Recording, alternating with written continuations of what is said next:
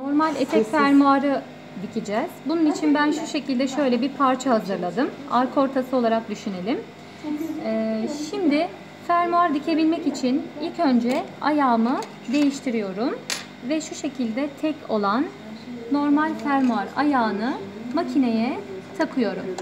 Taktıktan sonra Şimdi bu kısmı şu şekilde 1 milim kaydırmam gerekiyor. Etekte 1 milim, pantolonda 1.2 gibi ve şu şekilde yerleştireceğim.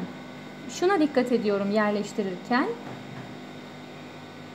1 milim kaydırdıktan sonra şu şekilde kemer takıldığı zaman yani demirim kemerin 1 milim altında kalması gerekiyor.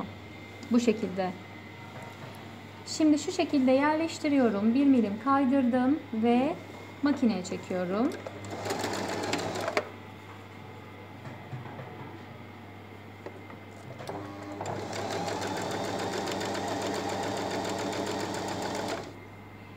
Yukarıdan 1 milimi kaydırdım. Aşağıya kadar da o 1 milimi koruyarak iniyorum.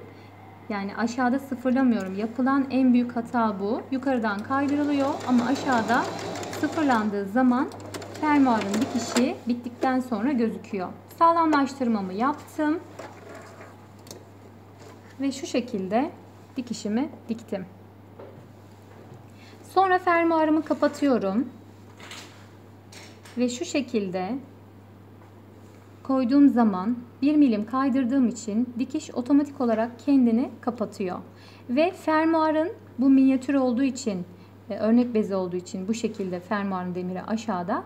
Normalde fermuarın hemen ikinci dikişini şuradaki demirin 1 milim üstünden yapmamız yeterli olacak. Ve e, şu şekilde dikişimin sonundan diktiğimde fermuarın dişleri olduğu için sağlamlaştırmamı yaparken kontrollü yapıyorum. Hani dikkatli yapıyorum iğnem kırılmasın diye. Ve şu şekilde yavaşça geliyorum. İğnem içinde sonuna kadar iğnem içinde durdum. Ayağımı kaldırdım. Döndüm. Ayağımı koydum ve şu şekilde şöyle dikiyorum. Sonra iğnem içinde ayağımı kaldırdım. Fermuarımı bu şekilde açıyorum ve dikişimi dikkatli şekilde dikerek sağlamlaştırmamı yapıyorum. Ve fermuarımı kapattığımda bu şekilde normal etek fermuarını tamamlamış oluyorum.